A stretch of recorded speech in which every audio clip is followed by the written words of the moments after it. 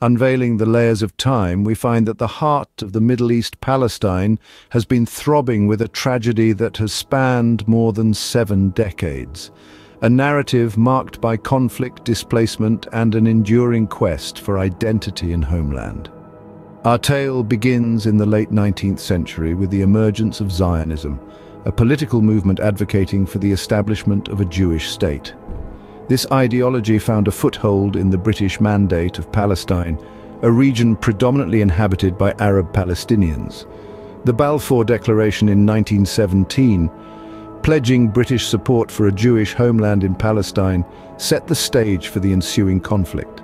Fast forward to 1947 when the United Nations proposed a partition plan dividing Palestine into separate Jewish and Arab states.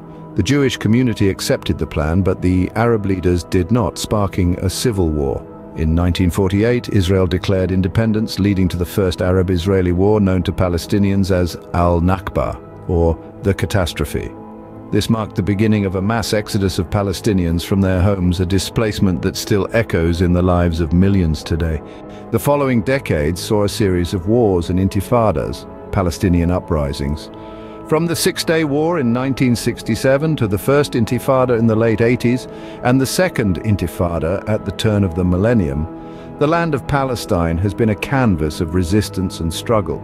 Fast forward to the present day, we witness the recurrent flare-ups in violence, the latest being the war on Gaza in 2023 causing a humanitarian crisis, with thousands of lives lost and many more displaced.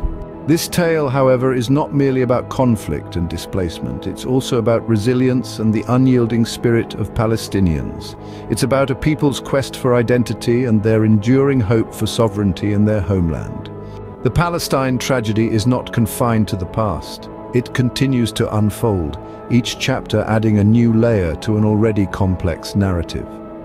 The echoes of al-Nakba still reverberate, shaping the lives of millions and the geopolitics of the Middle East. In conclusion, the Palestine tragedy dating back to the late 19th century is a tale of displacement, conflict and resilience. It is a saga that began with the advent of Zionism and has since been marked by wars, intifadas and an ongoing struggle for identity and sovereignty. It is a narrative that continues to shape the lives of Palestinians and the geopolitical landscape of the Middle East.